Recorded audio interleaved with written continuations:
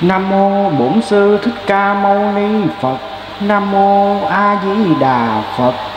Kính thưa quý vị, để tiếp tục tôi xin thành kính đọc lại bài Ai người tri kỷ lời vàng ngọc mà Đức Thầy đã viết tại nhà thương chợ quán đêm 18 tháng 7 canh thìn năm 1940.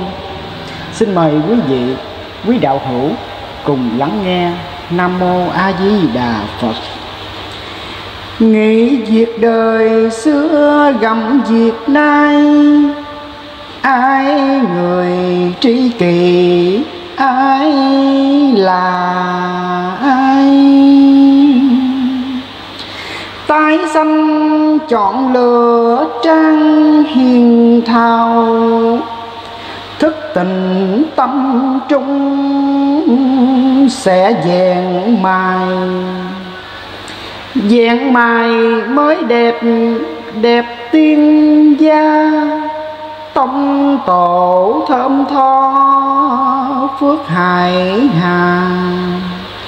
Tịch mịch quyền sâu ai hiểu đằng. Ắt là thấu tích sĩ cuồng ca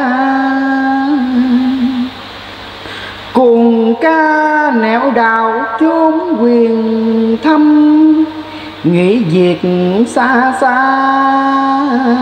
ruột tim bầm.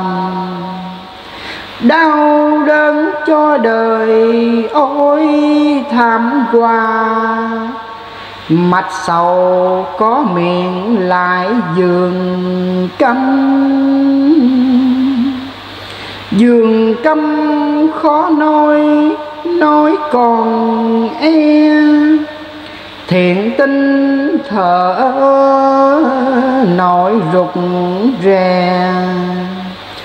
Tiếng động bên tường nghe dần dần sức hèn như châu trong ngàn xe.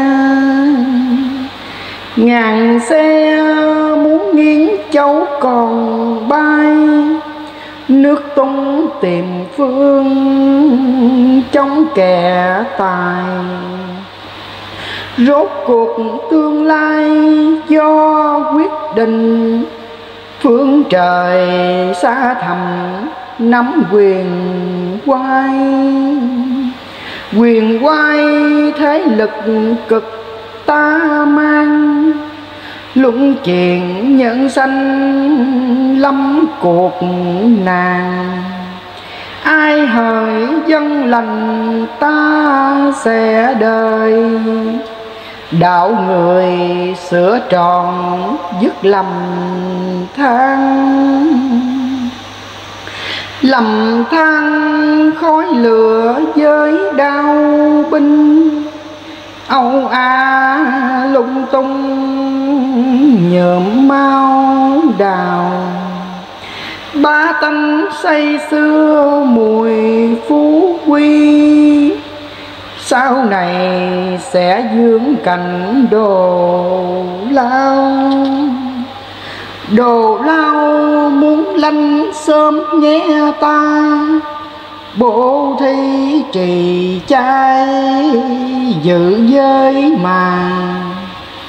Phật đạo trao dồi tâm tâm lại. Giác thuyền chuyên chở lúc can qua. Can qua dân chúng chớ buồn lo. Tích đức chờ ta, chốn hẹn hò. Tiên cảnh Phật đài xem rực rỡ. Hoàng cầu đến đó ấm cùng nó. Cùng nó bốn bể một cha thôi. Bỏ dứt thói hư với tật tội Trên có Phật trời soi diệt thay dưới đầy cơm ao lão về ngôi. Nam mô bổn sư thích ca mâu ni phật. Nam mô a di đà phật.